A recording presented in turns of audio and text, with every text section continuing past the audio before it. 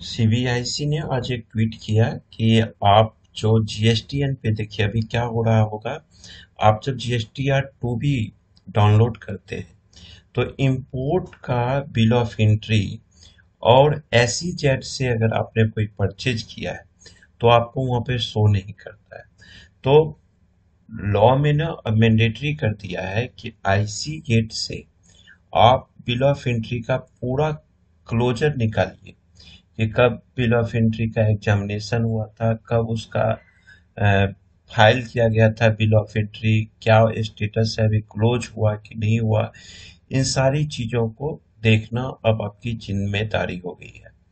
और ये इंटीग्रेट कर दिया गया है।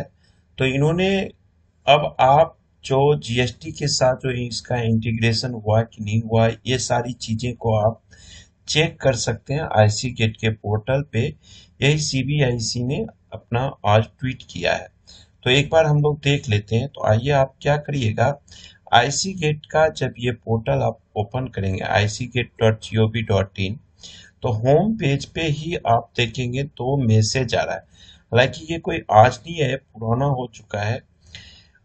लेकिन जब अब आपको एक एक चीज़ों की बातें कही जा रही है तो आप यहाँ से सारी चीज़ें देख सकते हैं। और ये मैसेज भी आ गया है यानी कि अब सारे कुछ अपडेट्स कर दिए गए हैं आईसी गेट के पोर्टल पे। पहले क्या था? आधी अधूरी जानकारी पोर्टल पे अवेलेबल किया गया था। अब अपन लोगों को करना क्या है कि एक वीडियो ना मैं स्पेशल आईसी गेट पे बना दूँगा टीजीएफटी के लिए। अभी क्या होता है? किसी भी काम के लिए हमें बैंक को कांटेक्ट करना पड़ता है कि भाई मेरा कितना बिल ऑफ़ एंट्री आउटस्टैंडिंग दिखा रहा है आरबीआई के पोर्टल पे। तो इन सारी चीज़ों को बैंक वाले अलग नोटंकी करेंगे आपको कि, सर, मैं एक लिंक भेज रहा हूँ। वहाँ से आप देख लो, सर आईसी गेट का देख लो टीजीएफटी का देख लो। पहली तो एक बात करता हूँ मैं आपके वीडियोज़ में कि भाई सीधी बात बैंक को पैसा देते हो ना बैंक तुम्हारा बीआरसी इशू करने का पैसा लेता है। बैंक तुम्हारे इम्पोर्ट का जब पेमेंट कर तो बैंक चार्ज वो लेता है। तो बैंक चार्ज जब लेता है तो उसका काम है सब कुछ निकाल के देना। वो देगा कौन, क्यों नहीं देगा? मांगोगे तो देगा। अब आप भी सरल हो जाओ तो कोई बात नहीं। सीखने के लिए नॉलेज तो ज़रूर रखो। बट चीज़ें मांगो। तब यहाँ पे इन्होंने कहा कि आईसी गेट पे आप जीएसटी का इंटीग्रेशन देखने के लिए यहाँ पे क्लिक करिए तो एक सामने आपको इस तरह का पोर्टल खोल के आ जाना है। यह है enquiry dot I C gate dot G O V dot in यहाँ से आपको देखिए लेफ़्ट साइड में बहुत सारी चीज़ें हैं। चलान इंक्वायरी जैसे कि आप जब कस्टम ड्यूटी पेमेंट करते हो तो जो चलान नंबर आता है, उससे आप यहाँ पता कर सकते हो डॉक्यूमेंट का स्टेटस क्या है डीजीपी शिपिंग बिल का क्या है डीजीएफटी के साथ शिपिंग बिल का आपका इंटीग्रेशन हुआ कि नहीं हुआ, वो चेक कर सकते हो। आरबीआई के ईडीपीएमएस पे आपके शिपिंग बिल का क्या स्टेटस है? बिल ऑफ़ एंट्री का आपका आरबीआई के आईडीपीएमएस में क्या स्टेटस है? ये तमाम चीज़ें आपको यहाँ पे दिखेंगी। अब आपको जैसे बैंक वाले कहते हैं ना कि ईडीपीएमएस पे दिख रहा है आईडीपीएमएस पे दिख रहा है उन सब की बातों को आप थोड़ा सा इग्नोर कर सकते हैं और यहाँ पे जा करके खुद भी देख सकते हैं आईसी गेट पे। दूसरी बात मैं आपको बता दूँ यहाँ पे कि अगर आपने सपोज़ करो, किसी और बैंक से स्टेट बैंक से आपने इंपोर्ट पेमेंट किया और उसका एडी कोड अगर मान लीजिए पीएनबी का है तो पीएनबी वाले भी आपको लेटर भेजेंगे और एसबीआई वाले भी लेटर मिलेंगे, भेजेंगे। और आप अगर आप उसको कहीं भी एक जगह क्लोज कर देते हो तो इंपोर्ट के केस में आईडीपीएमएस पे आरबीआई का पोर्टल पे ऑटोमेटिक सेट ऑफ़ हो जाएगा। और एक्सपोर्ट के केस में ईडीपीएमएस पे आपका आरबीआई के पोर्टल पे क्लोज हो जाएगा। इसका हम डिटेल वीडियो अलग बताएँगे।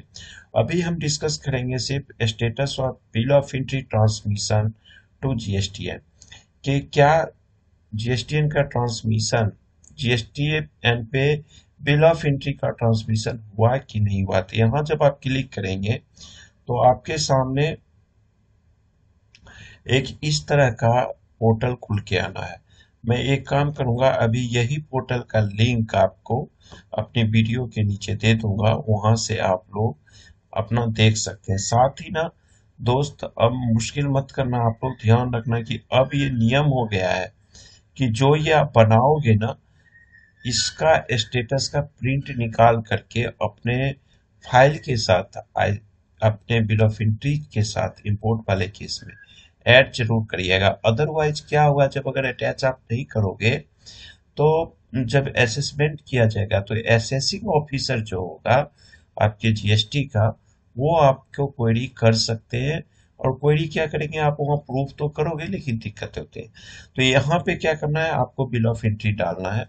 सपोज़ करिए ये बिल ऑफ़ एंट्री नंबर मैंने डाल दिया और यहाँ पे डेट डालना है। तो डेट भी आप यहाँ पे टी डी एम एम और वाई वाई के फॉर्मेट में आपको डालना है।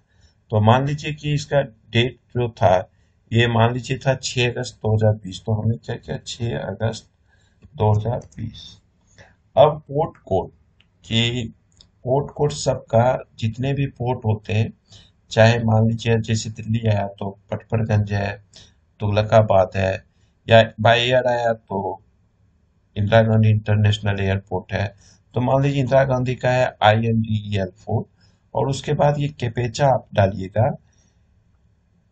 F P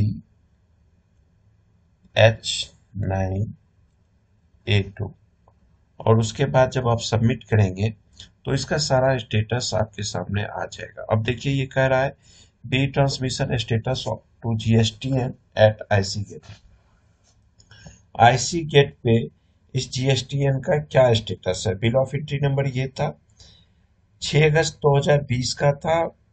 bill of entry का जो पोर्ट कोड था, वो I N T E L four था। रिक्वेस्ट टाइप एफ़ एफ़ मतलब फ्रेश है रिक्वेस्ट टाइप और अगर ए आ जाएगा तो वो एमेंडेड हो जाएगा। तो ये एमेंडेड नहीं था भैया, सही था फ़र्स्ट था। बिल ऑफ़ एंट्री का पेल नंबर वन है। बिल ऑफ़ एंट्री एंट्री का जो ट्रांसमिट डेट टू जीएसटी पे ये कब आया? तो 9 अगस्त 2020 को जीएसटी पे ये आपको शो कर गया था। अब जीएसटीएन जो पिक्ट किया, उसका डेट भी इन्होंने दे दिया 25 अगस्त 2020 को। तो टाइम वगैरह सारा कुछ आ जाता है कोड आता है। Picked flag at GSTN pick कर दिया। तो ये चीज़ आपके लिए बहुत इंपॉर्टेंट है और इसी का प्रिंट आपको, इस, ये पूरे का प्रिंट आप अपने साथ लगा करके रख लीजिए। इस पे सब कुछ आ जाएगा। और ये आपको जीएसटी के लिए काम आ जाएगा। इसी तरह और जो फ़ंक्शन है, उसके लिए मैं अलग से एक वीडियो आपको बना के दे दूँगा आई गेट का। डीजीएफटी का, उसी तरह बीआरसी वाली तो ऑलरेडी वीडियो तीन साल पहले बन अच्छा एक मज़े की बात बता दू। हमारा एक बैंक है, जिस कंपनी का मैं नौकर हूँ, जिस कंपनी में, उस कंपनी में, उस कंपनी का अकाउंट जो है दिल्ली के नेहरू प्लेस ब्रांच में बहुत, ये जो बैंक है, वो Nehru Place bank I think की मतलब हाई प्रोफ़ाइल बैंक है हाई लेवल की है। वहाँ पे क्या हुआ कि मुझे कहा कि भैया ऐसा है ना कि मैं आप शिपिंग बिल भेज दो बीआरसी जनरेट होगा। मैं क्या बीआरसी भेज देना मुझे पीडीएफ कहे सर, वो तो आपको B R C T G F T के पोर्टल से डाउनलोड करना पड़ेगा। मैं, मुझे आता ही नहीं। एक बिल ऑफ़ एंट्री का लगभग एट हंड्रेड फिफ्टी रुपीज़ को लेते हैं मतलब शिपिंग बिल का बी आर सी रिलीज़ करने का। एट हंड्रेड फिफ्टी रुपीज़ दे के मैं अपना टाइम बी आर सी पे क्यों खत्म करूँ? अपना नेट, अपना टाइम, अपनी इलेक्ट्रिसिटी क्यों? कंपनी का नौकर हूँ। कंपनी मुझे और काम के लिए दे रही है पैसा और आपको आठ सौ पचास रुपये लगभग, एट हंड्रेड फिफ्टी रुपीज़ आपको बैंक चार्जेस दे रहा है कंपनी किस लिए बीआरसी रिलीज़ करने के लिए। तो नॉलेज होना चाहिए तो आपको मैं वीडियो का अटैच कर दूँगा पीआरसी वाले आप लोग भी नॉलेज ज़रूर ले लीजिएगा।